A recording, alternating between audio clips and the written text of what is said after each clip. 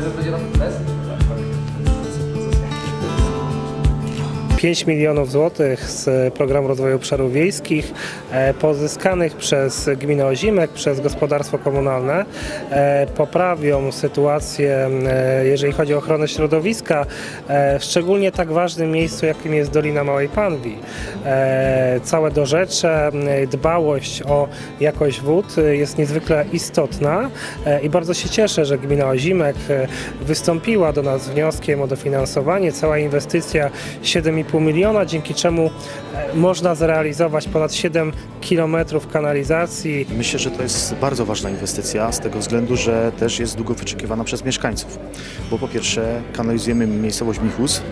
Tam długość tej sieci wynosi 7260 metrów, łącznie z e, ulicami w e, miejscowości Krasiejów, a z tego co wiem, to to jest również e, taka długo wyczekiwana inwestycja, więc liczę, że mieszkańcy będą do tej, e, do tej sieci kanalizacji sanitarnej się podłączyli. Ale oprócz tego my też e, budujemy rurociąg popłuczyn do stacji wzniecania wody w e, Nichusie i to też jest dla nas e, z technicznego punktu widzenia bardzo ważna inwestycja. Jesteśmy zdecydowani, żeby jeszcze w grudniu przeprowadzić przetargi pozwalające wyłonić naszych wykonawców i umożliwić także wczesne rozpoczęcie prac z początkiem roku 2023. Myślę, że już na wiosnę, do końca wakacji będziemy w stanie sprostać wymaganiom inwestycyjnym.